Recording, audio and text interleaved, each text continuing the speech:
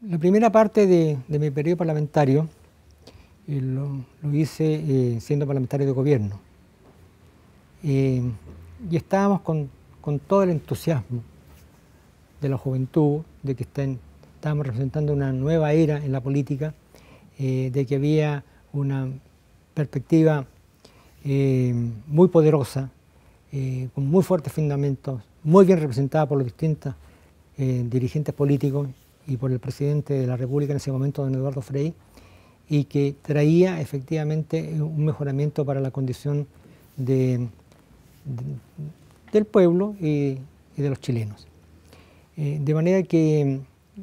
fuimos muy eh, leales y comprometidos con, ese gobierno, nos sentíamos muy representados. Eh, lo que yo más admiro, efectivamente,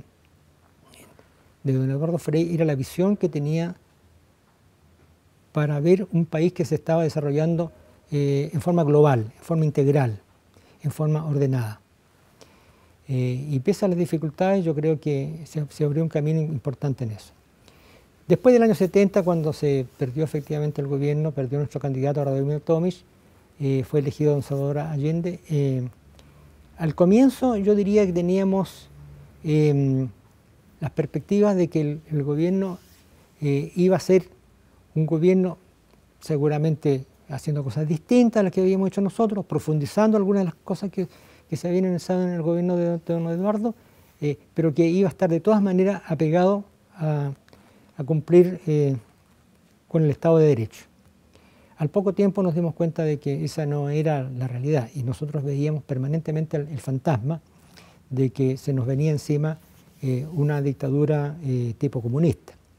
Eh, y que se pretendía por la vía de ir avanzando paso a paso con resquicios legales, avanzando hacia eh, tener un sistema político parecido a lo que era en, Cuba. Y eso entonces, eh, esa sospecha de que se pretendía implantar un régimen de esa naturaleza, hizo que nosotros fuéramos cada vez más reacios a darle colaboración al gobierno y tuviéramos una actitud a su vez bastante más agresiva respecto a, esa, a las medidas que el gobierno tomaba. De manera que eh, ese conflicto político se trasladó después al ambiente social eh, y, efectivamente el, país,